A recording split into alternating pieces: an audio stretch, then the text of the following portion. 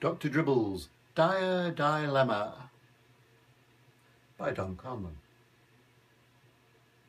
When someone is hurt, you need Dr. Dribble. Whatever my price, you must never quibble.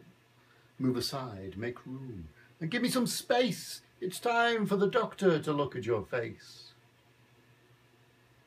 I see it as lumps where there should be a nose.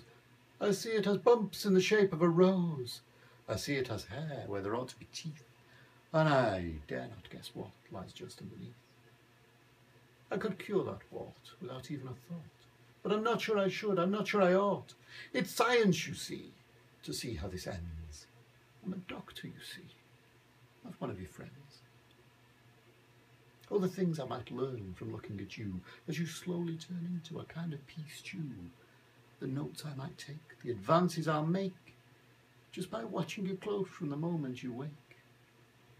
I'll watch how your eyes go red in surprise as you find that I fed you some snot-burger pies. I'll watch how your cheeks go green in disgust as I wash out your mouth with bicycle rust.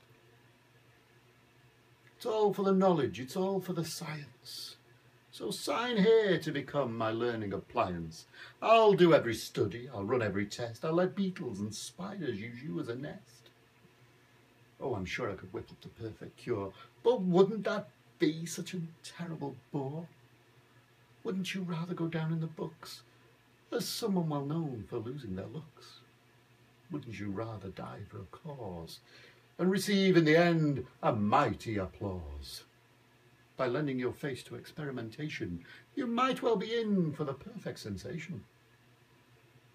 Well, as the only professional here by a mile, I'll make the decision with a doctorly smile.